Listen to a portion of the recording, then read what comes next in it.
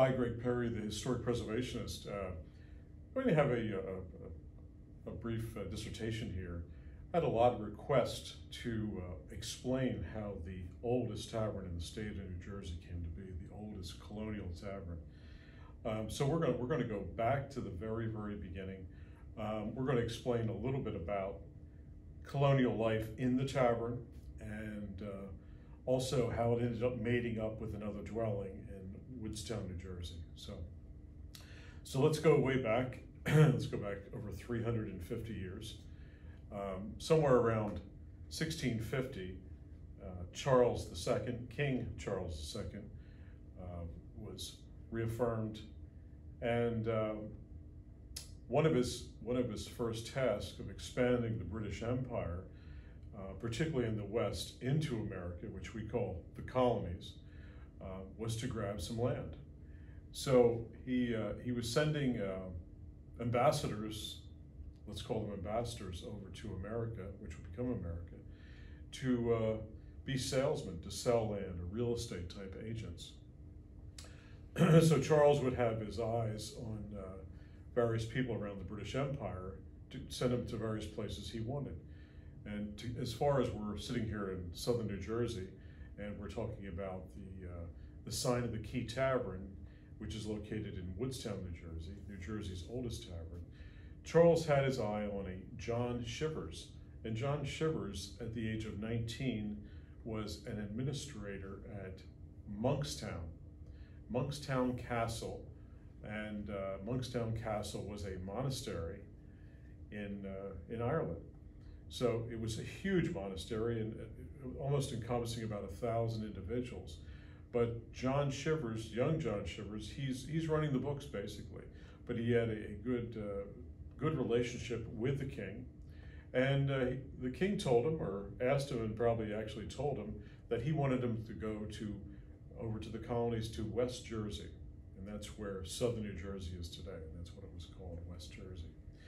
And to, uh, to sell land to try and populate it. So he sent John Shivers over across the ocean just about 1660. Um, the objective here was to start in southern New Jersey, which was West Jersey, and move up the Delaware the Delaware coastline of the Delaware River, Delaware Bay, and then up the Delaware River. And to eventually end up around Burlington or Old Burlington City as we know it today, which is still a very historic town. Um, so, so John Shivers was sent over by ship. He comes with about 20 Englishmen.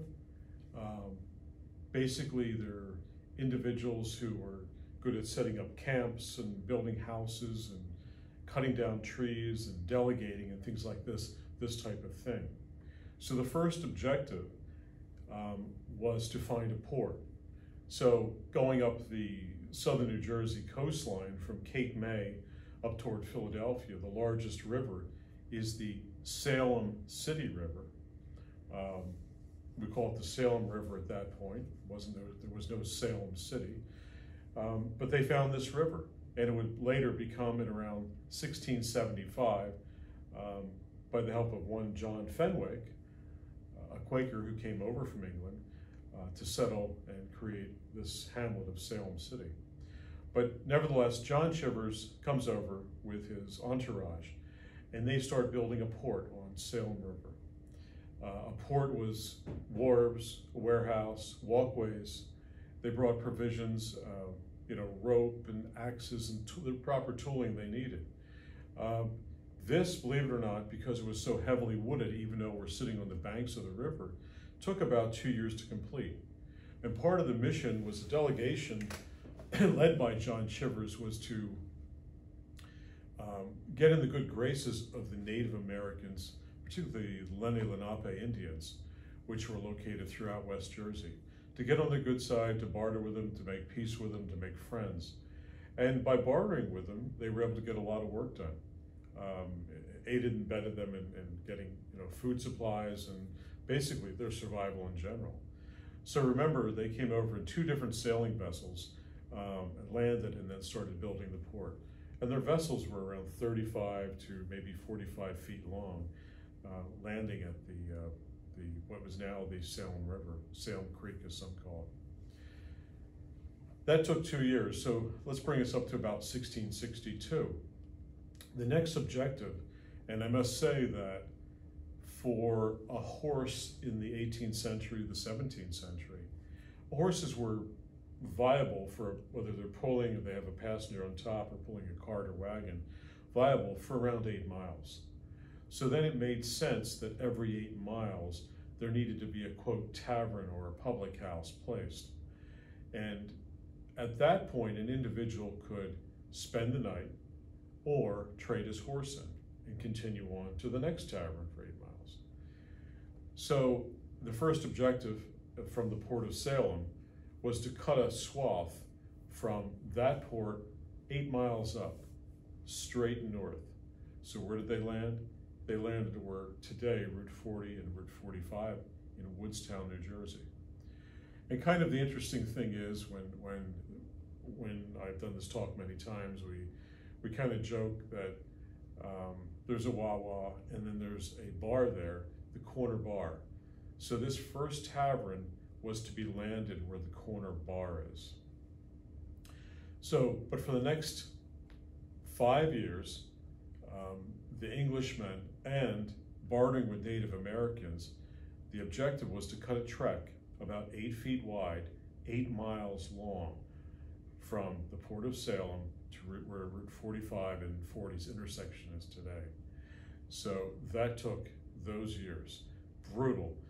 Um, there were so many trees, so much canopy cover, so many trunks, and this is old growth forest that a squirrel could go from Maine to Florida, and this is reminiscent of the type of forest it was, and never touch the ground sitting on the canopies. So once they reached that intersection, or where that intersection would later become, they needed to create a sawmill. So they went to what is now Woodstown Lake, um, which uh, is, a, is a relatively small, it's only about a quarter mile by a mile long at that point. But there was a, uh, a natural spillway there, so they dammed it up. They built a sawmill, and uh, that's where all the timber was milled for this, uh, for this first tavern or public house uh, going north through West Jersey. Uh, a lot of oak, white oak was, was found here, poplar, pine. Um, some of the pine boards that could be had could be in the 24 to 36 inch wide, believe it or not, 36 inch wide down the center of the trunk. Um, the white oak, uh, there was multiple stands of this. And remember, we want to use this for its rot resistance in building and uh, constructing timber frame structures. So it took another it took another year to, to do the to the damming, the, the, spillway, build the mill, and then they started to build the tavern. So the mill uh, and the spillway was only about uh, a half a mile. So the drag of the lumber up was relatively close. And there was actually a staging ground about 600 feet away where they cleared out. And they would actually build the sides and uh, the roof structures and things like that of the tavern. And they had two experts, a timber framer that came in with John Shivers, and they would pre-form these and then take them apart and number them and with two oxen and wood sleds and dragged it up to where it was sitting at Route 40 and 45. So around the middle of 1669 in June, the tavern was totally built. It was two and a half stories, two bays wide. Um, it contained no windows on all three sides. It contained three windows in the front, two in the top, one at the bottom, with a door when facing the tavern on the left side and it was uh, a door of somewhat uh, Dutch and uh, British origin. It had a, uh, a diamond pattern in the middle, very heavy duty, very clad, because remember there were friendly Indians and non-friendly Indians, Native Americans then, and even uh, travelers, who knows what to expect from who. And when this tavern was built, there was virtually no other dwellings, traditionally made dwellings, probably within 35 to 45 miles away, all the way up to Philadelphia. Um, so this was this was pioneering effort. This was breaking through. Uh, there were people living in huts and things like that. Some some natives, some uh, you know, native uh, Brits that have come over, and I often find it interesting. Just imagine if you're uh, you were born in, in the, the wild here, surviving, and and all of a sudden you see this wonderful structure go up, and this would become a meeting place, and you've never walked into a room let alone a building before, and you can meet other people and see other people, that it's, it's an experience you never had. Um, so maybe kind of like going into a bar uh, today, but obviously we've seen other people, but this was uh, uh, for the first time. So, so the bar was built. Um, it had cedar on the outside, cedar siding, and uh, it was at a timber frame structure and it had cedar shake roofs. So it was comprised downstairs of two rooms, a hearth room. When you walk in the front door, you had a, a massive harvest type table, and you would have had someone tending it. It could have been a Native American, it could have been a woman, um, and it could have been some some uh, some sort of slave we had at that point. And in that room to the right was built a large hearth, and the hearth was made for cooking. And as you walk straight through to the second room, it was the cage bar room and the cage bar room was a place where alcohol was had, and uh, it would be tend to be locked up at the end of the day because alcohol was the most sacred commodity. People uh, desperately would have stolen, killed for alcohol, because we have to remember a couple other things. The the water system um, was plagued with parasites and bacteria, and not even babies could drink it. So everyone was drinking a type of ale, local made ale or hard cider. So John Shivers, in June of 1669, opens this tavern. Um, this tavern is a stop-off point. So the intention, let's talk about the intention of the crown. The crown is to ship people over from England, and uh, they, they would probably promote it in England, saying, go to America, buy plots of land, you know, the, the broad expanse of freedom. And uh, people would have bought into a, uh, a ship coming over and you could have had 30, 40, 50 people coming over.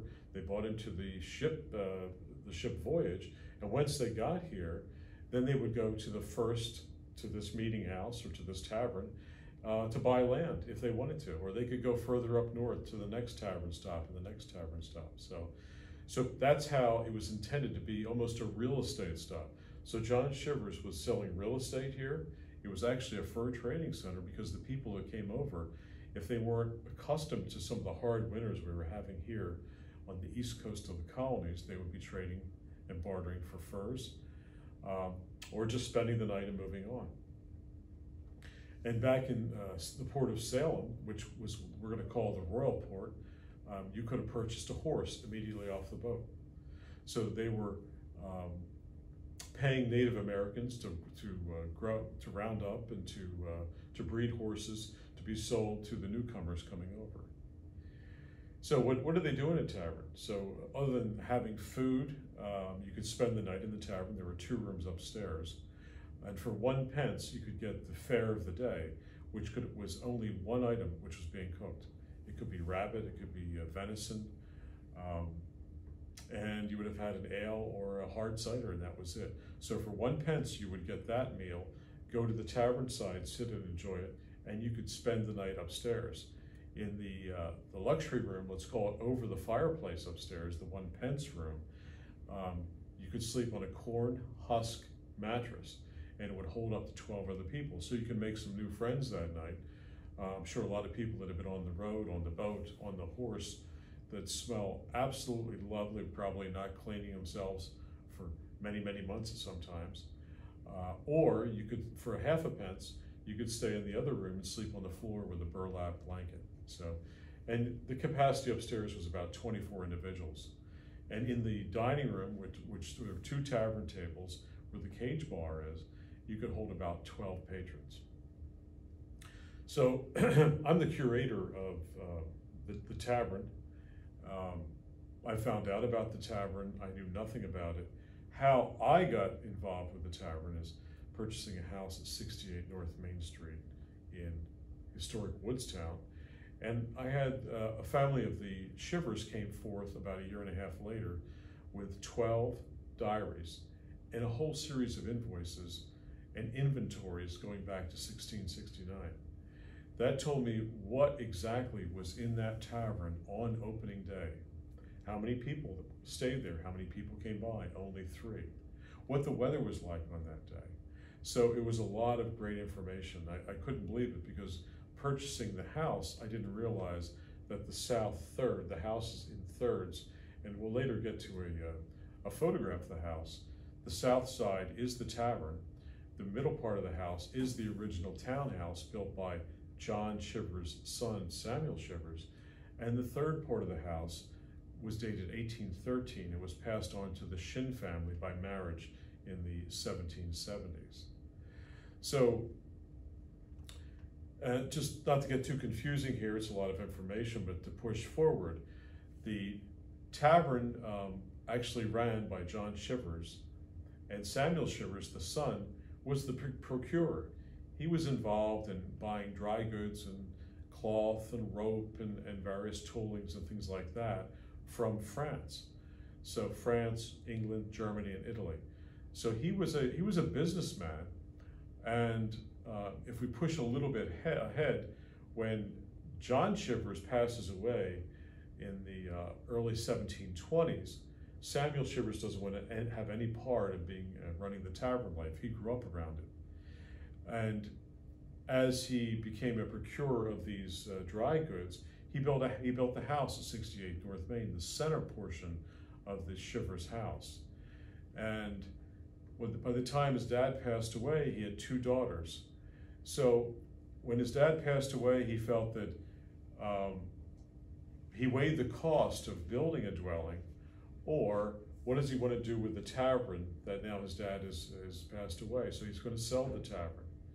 So he sells the tavern, the land of the tavern, keeps the tavern, and he gets two Native Americans and three oxen and a wood sled. The Native Americans disassemble the tavern, label it, and they put the pieces on the wood sled and the oxen drive it 1.8 miles up, which is would be Route 40, and then up make a left on Route 45 to 68 North Main Street, and reassemble the tavern onto his quote townhouse, which was not very big in the day. It was 24 feet wide, again two stories, two bays, and they the tavern was basically the same dimensions.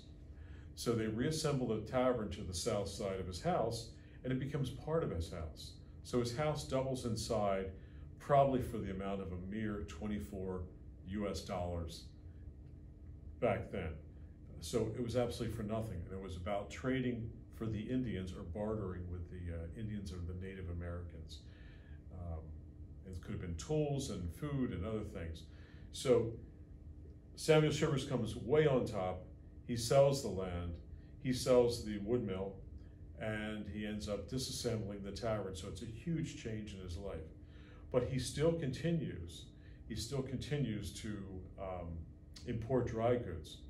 He uses the what would have been the front room of the tavern as it was attached to the Shivers house as a dry goods center. But when they assembled the house to the Shivers House Museum, the back of the tavern came to the front of the house and they added four windows there. These windows were added uh, to balance the house out architecturally. And these windows had eight over eight panes. So eight over eight lights, okay, and all handmade muttons and mullions. So when I purchased the, the dwelling, all of this hidden secrets were locked away in the clapboard where the two dwellings met. Uh, on the inside, the uh, an owner used sheetrock to cover over all the plaster. So we have to keep in mind that the Shivers house, the entirety of it, uh, including the 1813 section, uh, went up until 1946 without any electricity, any plumbing, or any heating. So anyone who lived in the house would have used a wood or coal stove, they would have used candles, and they would have used quote, outhouse or chamber pots. And up until 1920, the, uh, all the cooking was done in a summer kitchen, which was located approximately 40 feet behind the house. it was a brick structure. Now we found with a few basic, basic, very basic hand architectural digs, bricks and other things back there, noting the circumference of the foundation. Um, so in the future, there may be some kind of digs in the back, we don't know. So then 1920, a, a lean-to kitchen was added off, a two-story lean-to kitchen was added off the back of the house. And so that makes the Shivers house very interesting that it's four centuries of build, 17th, 18th, 19th, and 21st century. So four centuries of build. Um, so let's talk about in 1946 what happened. We have a, an individual purchased the house, um, a Betty Lippincott that wants to open an antique shop. So she tends to gut the entire tavern area. She takes the cage bar out, all the wagon wheel type wainscoting and, and a couple other rooms. There was a music room on the 1813 side she takes the original front door and a plethora of other uh, amounts of millwork and sells them to a woman in Maine. So I'm moving along with my restoration, and this is all simultaneous that I get a call from someone in Maine and said that his mother had purchased um, these millwright type items in 1946 with the hopes of putting, putting them up in her house in Maine, kind of decorating it out. So the mother dies, this man I'm talking to, the son, uh, inherits this, uh, this woodwork, this millwork. And he had the same kind of uh, possibility of buying an old house and, or do, taking his mother's house and putting the millwork in it. But he's calling me, telling me he has a few months to live, he's got cancer, and would I be interested in buying them? He understands I am a historic preservationist and would I come and purchase them? So for about $2,000, I FedExed a check out to him and uh, told him I'd see him in about a week and rented a truck and went up and brought the millwork back. So I brought back the cage bar, uh, wainscoting, raised, uh, raised panel work for many of the rooms, a lot of various moldings, and it all came back. Simultaneously with the, uh, the 12 Shivers diaries and inventories and invoices from the tavern originally, and doing the restoration, taking off the clapboard on the outside, discovered the, uh, the drive-up window, and it's been certified as the oldest drive-up window in the state of New Jersey. So obviously it's the oldest, the oldest tavern, 1669. The window was intact. Um, I had to restructure the clapboard, the old clapboard around the window, uh, pull the sheetrock off from the inside, and the window ends up in the cage bar. Uh, the height elevation is a little bit different now because the uh, Shivers house is about two to two and a half feet, around about 30 inches higher than the original tavern would have been. So then that makes the possibility riding up on your horse uh, just a little bit, a little bit of a stretch to get to that window. But because the, uh, the main part of the house was already there, the tavern had to level off on the elevation with that. So that's what we have. So pushing forward, um, having the this indisposable piece of information, these uh, these diaries, I know exactly what was in the tavern, as I said prior, uh, what was in the far as furniture goes, accoutrements, uh, cooking utensils, everything uh, abounds on the day of opening day. So what I've done is I've tried to go to auction to purchase uh, all uh, type of cast iron pots and anything involved with cooking. The crane is original. The bricks in the diary, the the hearth fireplace was taken apart, all the bricks were labeled, and they were reassembled as they were back then.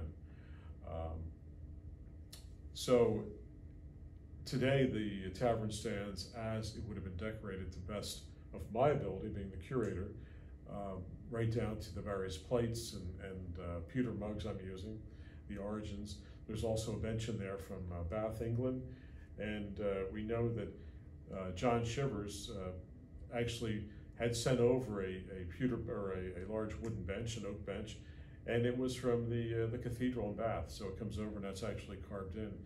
But you know, a lot of hunting it takes it takes a, a plethora of time to hunt down these various auctions to find the accoutrements and the furniture. So. So to fast forward, so what we're trying to do is to um, bring community awareness uh, to the local community and to give them a, to give them a reason to build around uh, the museum. And we're going to fast forward now to about 1813 when the northern side of the house, so now the house, as we look at the Shivers House Museum on the outside, it's broken down into three components. So the, the, the 1813 section, uh, they added a music room on the downside and, uh, and a dining room, and on the top section is two bedrooms. So that's where we go.